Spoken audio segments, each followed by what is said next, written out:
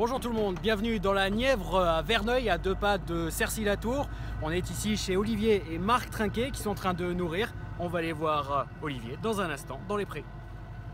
Bonjour Olivier, ça va? Bonjour, ça va et toi? Extra, et qui nous présentes-tu aujourd'hui? Alors je vous présente Franigan.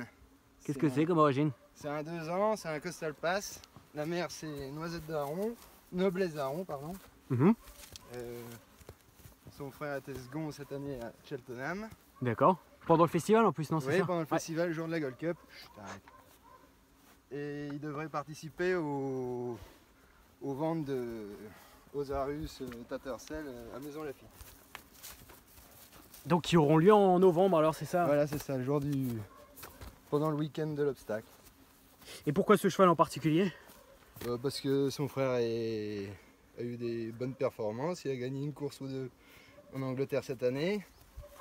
Et euh, il a un beau modèle.